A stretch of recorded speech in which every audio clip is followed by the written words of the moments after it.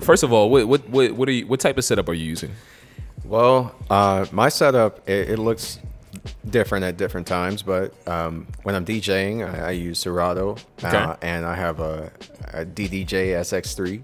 Okay. Um, and I set up my clips so I can trigger it, and then I have things where I like to do live like modulation and stuff. Yeah.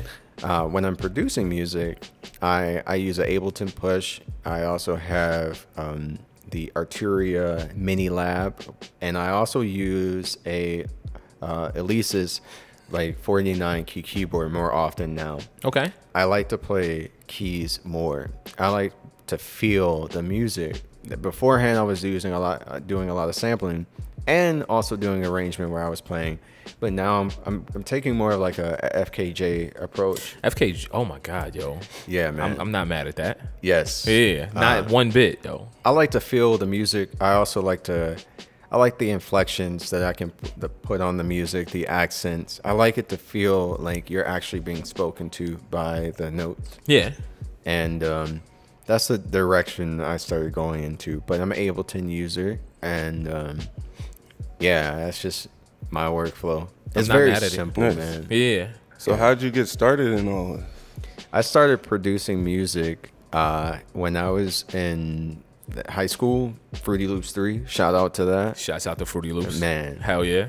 Uh, and uh, that was that was where the start was. I was in a rap group at the time, and it was funny because I, I was like really into it. I was producing, and I thought I was Pharrell. I also was rapping, and uh, but I always was into music even since a little kid. Right. Like I, I've been playing piano, and through it's just in Japanese they call it you know your ikigai, which is you know your life's purpose and what makes you happy, and that's something I could do daily without delay. I love it, yo. And with further fostering of my my gifts I realized that I had a, a higher power to not do it for myself, but just bring peace and love and uh, the concept of like togetherness through my sound. Yo, you, yo, that's one thing. Like one thing I, I have to say about you. Um, I feel like every time we meet, it's always like a ton of like positive energy, like a ton of like you're like always. you seem like an extremely thoughtful guy. Like always, yo, like, is that just like genuine? Yeah, yeah, like, yeah. yeah. It's, first it's, time I met you at Controller, you you speaking to me like you know me for years. Like, yo, how's everything going? Like what's going on with you? Like it's genuine. So I appreciate that, guys. Do you feel like um like so so so I feel I feel like you're you're a pretty you're you're a pretty zen guy. Like is that like find its way into like your creativity? Like do you like like tell me about your process? How do you how do you sit down and come to the table to create?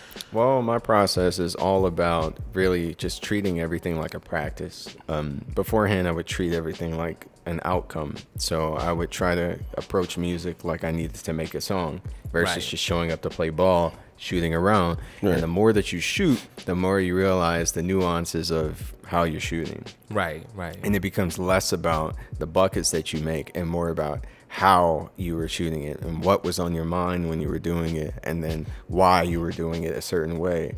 And it just became more of a, uh, a deeper process about like growth and just observance. And i've been through a lot like anybody except there was a certain point when i stopped believing that i was punished for the things i was going through versus making room for the gains by eliminating the losses you know and uh, the zen part is just a part of acceptance like there's a lot that we resist and there's there's more we gain from stopping resisting.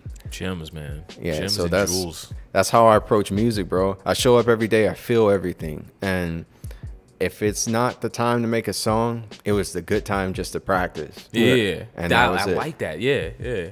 I call it I call it a uh, beat attempting, right? Like I don't even, you know what I'm saying? Like so, like for me, it's important to it's important to like shoot 15 shots throughout the week, right? Mm-hmm. None of them have to go into the basket. They don't. That's not the purpose. Like the purpose is just like I, I like I said, beat attempt. Like right. I, I literally you know, I try to write out what I want to do for every day, and every day is meditate, write, beat, attempt, right? Mm. Like that's like the first. They're like the first three things to me, like stretch, meditate, write, beat, attempt, right? That's that's good.